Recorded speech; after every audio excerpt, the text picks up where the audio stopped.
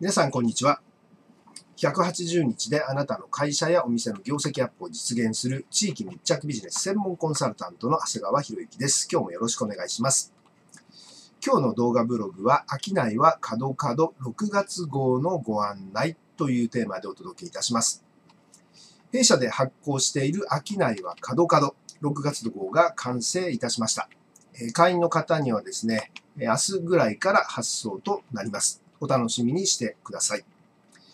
商いは角角をご存知ない方のために簡単に説明をさせていただきます。この月刊誌はリーダーシップの磨き方、元気な組織の作り方、売れる商品開発、売れる営業とか販売、このようにですね、多岐にわたったテーマで本質のマネジメントとマーケティングの話を紹介している月刊誌です。そして今月の特集はこちらになります。5分で解決経営者のお悩み相談室というですね、これが今月の特集となっています。なんとも抽象的な特集なんですけども、え実はこれはですね、ある企画と連動しております。その企画というのは、弊社と、あと2つの会社。1つはアルバ株式会社というシステム会社。そしてもう一つはインスパイア株式会社という、これはネットコンサルの会社ですね。こちらが、こちらの会社と弊社がですね、こうコラボレーション、協業しましてですね、新たなプロジェクトを立ち上げました。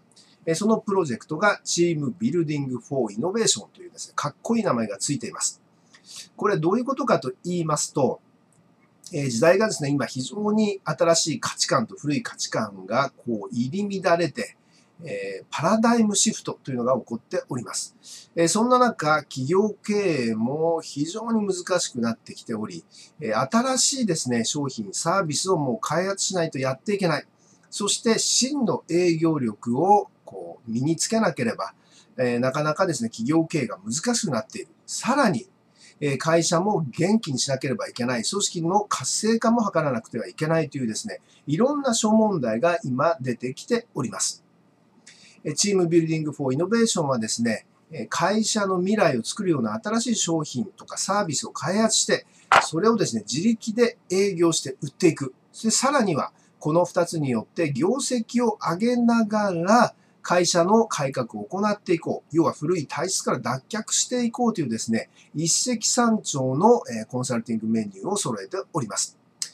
私が今、コンサルティングと言いましたけど、正式にはですね、トータルソリューション、えー、御社、要はお客様の会社のスタッフと一緒に我々がプロジェクトチームを組んで、それで会社を変えていきます。そして新しい商品も開発していきます。そして営業の方法も開発していくというですね、そんなプロジェクトになっております。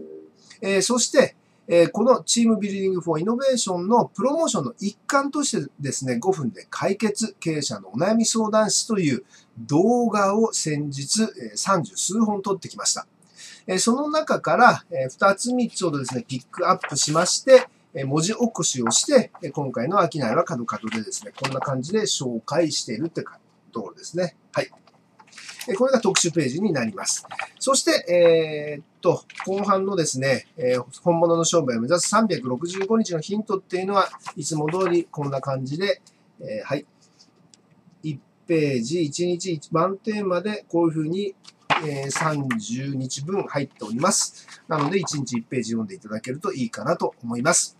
はい、今日も最後までご覧いただきましてありがとうございました。180日であなたの会社やお店の業績アップを実現する地域密着ビジネス専門コンサルタントの長谷川博之でした。